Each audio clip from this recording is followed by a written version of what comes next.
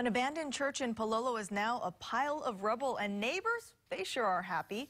We first told you about the eyesore after neighbors turned to Action Line for help, saying it attracted criminal activity. We checked on it back then and learned the property was up for sale. We also brought it up with the city.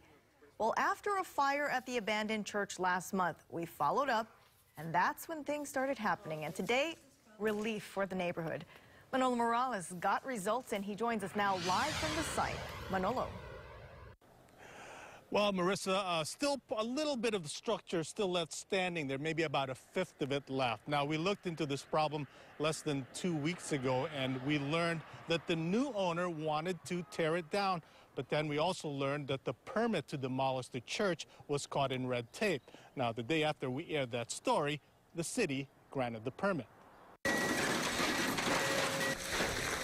These are the sights and sounds that the area residents have been waiting for. An excavator was brought in to what was once the St. Patrick Church and Food Outreach to tear it all down. It's been a haven for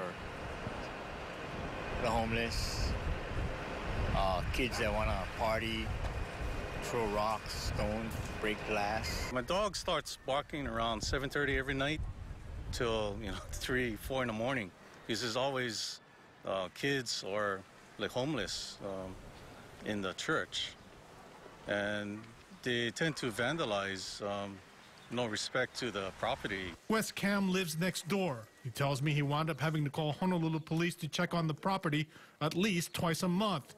Two weeks ago, the Honolulu Fire Department had to put a fire out inside the church, even though it had been boarded up. Inside, there were clear signs that people had been staying there. I talked to our neighborhood board, uh, city council, our um, representative in the legislature, and it, since it's privately owned, they couldn't do nothing. You know, it was up to the owner. Residents agreed that the best thing to do was tear it all down. We learned then that the property owner had filed for a permit two months earlier, but the city sent it to the state to be reviewed because the property is more than 50 years old. The next day, the city said it was mistaken and it did not have to be reviewed, so the permit was granted. Area residents have never been so happy to see something destroyed. They say the property has been a magnet for criminal activity for almost 10 years. Residents have been told that the property owner plans to build six new homes on the lot, so this eyesore will soon be a place for good neighbors. I think it's pretty amazing, Manolo, that, that the building is finally um, being demolished after all these years. So we have to thank KHON. Thank you, KHON, too, for your hard work. Thank you.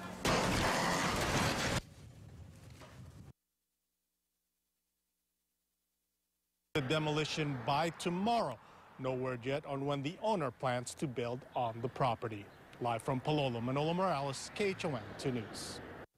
Thank you, Manolo. And if you have a concern or want to become an Action Line volunteer, Give them a call at 591-0222, weekdays from 11 in the morning to 1 in the afternoon, or you could always send an email to actionline at khon2.com.